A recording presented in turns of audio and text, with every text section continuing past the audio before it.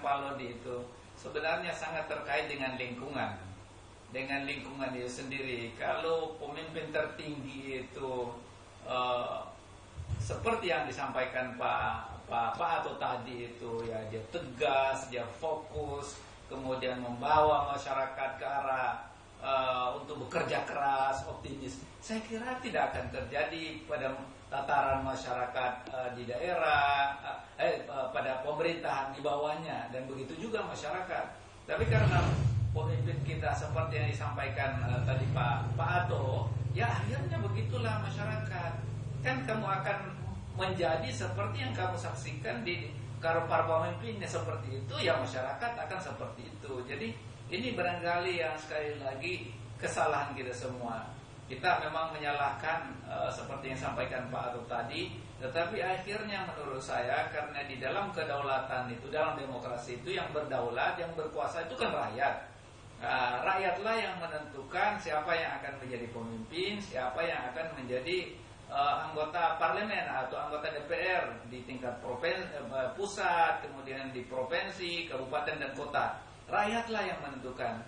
Maka marilah kita melakukan perubahan supaya tidak terulang seperti yang disampaikan Pak Ato tadi. Prihatin sekali memang. Semalam lama 10 tahun ini, hampir 10 tahun itu kita banyak sekali berbagai peluang emas untuk membangun bangsa ini yang kita tidak lakukan. Kita menganggap semua yang ada di masa Orde Baru itu salah. Tetapi di Malaysia orang masih mengamalkannya. Misalnya mereka ada GBHN begitu. Kemudian selain GBHN mereka itu sembako itu diproteksi oleh negara 25 jenis barang. Kalau kita di sini kan hanya 9. 9. Tapi ini ini pun sekarang di era orde reformasi nggak ada yang diproteksi. Semuanya diserahkan pada mas, uh, uh, pasar bebas itu sendiri yang kemudian ditentukan oleh pedagang-pedagang besar. Pemerintah adanya sampai saja dengan tidak adanya. Saya kira ini memprihatinkan sekali dan tidak ada upaya sama sekali yang dilakukan pemerintah untuk memperbaiki karena memang kita akhirnya merubah yang lama itu padahal tidak semuanya yang lama itu jelek. Uh, ada yang memang harus kita perbaiki. Misalnya presiden terlalu lama berkuasa itu kita sudah koreksi. Tapi janganlah semua ini diserahkan kepada mekanisme pasar pasar bebas yang korban itu rakyat. Misalnya ambil contoh sekarang ini uh, begitu sulit masyarakat sendiri tapi kemudian disuruh bersaing dia akan bersaing dengan eh, dengan pengusaha-pengusaha besar di tingkat lokal, di tingkat nasional, dan di tingkat ASEAN bahkan dunia. Ya, yang namanya investor datang itu kan sebebas-bebasnya aja tanpa ada proteksi terhadap pengusaha di daerah, pengusaha pribumi dan lain sebagainya. Jadi kita ini akhirnya apa? Semakin terpuruk. Jadi sama yang disampaikan Pak Atut tadi itu, itulah yang kita alami sistem ini yang tidak benar, tetapi juga ditambah dengan Eh, para pemimpin kita yang tidak tidak fokus dan tidak membawa kita kepada kehidupan yang benar. Ya. Akhirnya kita terombang-ambing dengan isu yang dikemukakan di berbagai media. Tiap hari kita hanya menanggapi isu bukan bekerja. Jadi begitu barangkali uh, Bung Lodi uh, dalam menanggapi yang disampaikan tadi itu. Ya tidak bisa menafikan semua yang dilakukan itu tidak benar. Tapi itu kalau misalnya kita bisa mengatakan dihapus utang. Tapi utang itu menggelembung luar biasa. Besar sekali utang kita itu. Jadi kita bisa e, menghapus e, membayar utang utang ke IMF itu tetapi kemudian kita terus berutang lagi dah bahkan berlipat-lipat ganda uh, dari utang yang kita kita ciptakan sekarang itu dan terjadi di era reformasi ini baik di masa Pak Habibie, Ibu Mega, kemudian masa Agus Dur, kemudian uh, karena masa pemerintahan ini cukup lama di, di era Presiden SBY banyak sekali utang kita. Ya betul kita masuk di G, eh, G8 kemudian G20 dan sebagainya itu suatu prestasi. Tetapi jangan lupa karena memang itu diakui kita uh, makin berkurang katanya orang miskin karena batas miskin itu dikurangi, ditetapkan sangat rendah. Mana ada orang yang bisa hidup di negeri ini dengan batas, batas miskin?